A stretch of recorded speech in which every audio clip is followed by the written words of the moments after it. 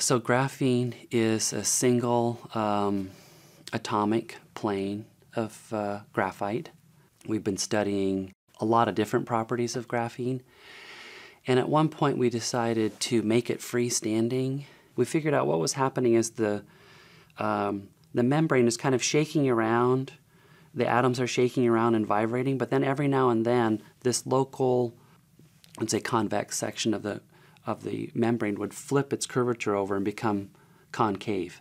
If we place a charge on that uh, ripple and it moves suddenly near a grounded conducting electrode, charge will flow in that conducting electrode to basically to screen the charge that's moving toward it. If we had another electrode above it, when it flipped back, then the charge would flow, can say in a circuit up to this thing here.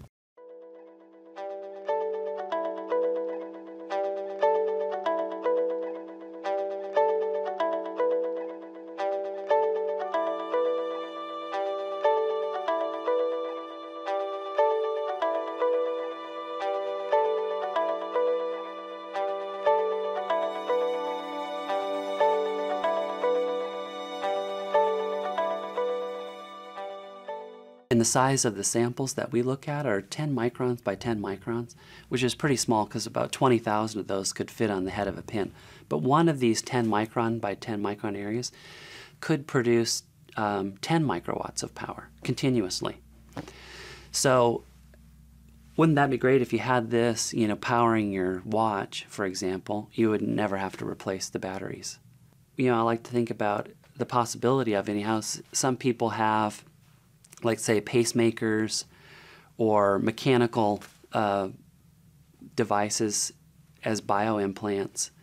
And if you could have a power source that you didn't have to replace the battery for, you know, it, it's basically a battery alternative. I guess that's the key thing. If you could have a battery alternative that you didn't have to go and replace it, you know, imagine, you know, all the things you could do. Zoba Kit